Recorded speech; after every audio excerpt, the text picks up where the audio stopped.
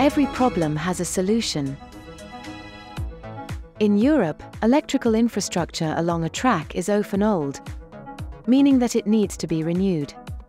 To do this in a technically and economically viable way, and without disrupting commercial operations, there is now an effective solution rapid catenary renewal. With this method, a catenary support can be replaced in just 20 minutes, or an arm in less than 10 minutes.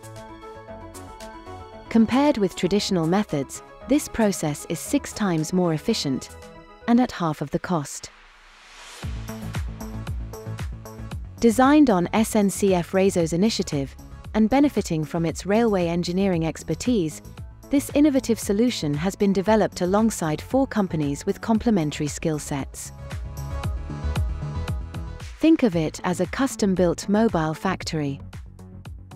The processes, tools, and machinery used, some of which are remotely controlled, are precisely adapted to the infrastructure to be renewed. In other words, their design takes the type of masts, the nature of the foundations, and many other factors into account. It is precisely this custom design which guarantees that this solution will be exceptionally efficient.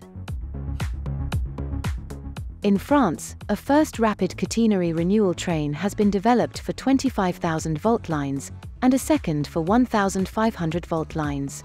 These mobile work sites are operated by around 100 people. And, after work is finished for the day, the track can again be used by commercial traffic, with no speed restrictions. Now, with the support of the International Union of Railways, SNCF Réseau, and its four industry partners are coming to you, the community of infrastructure managers. To efficiently renew your network, they are offering to design and operate a custom rapid catenary renewal system, with SNCF Réseau providing project management support.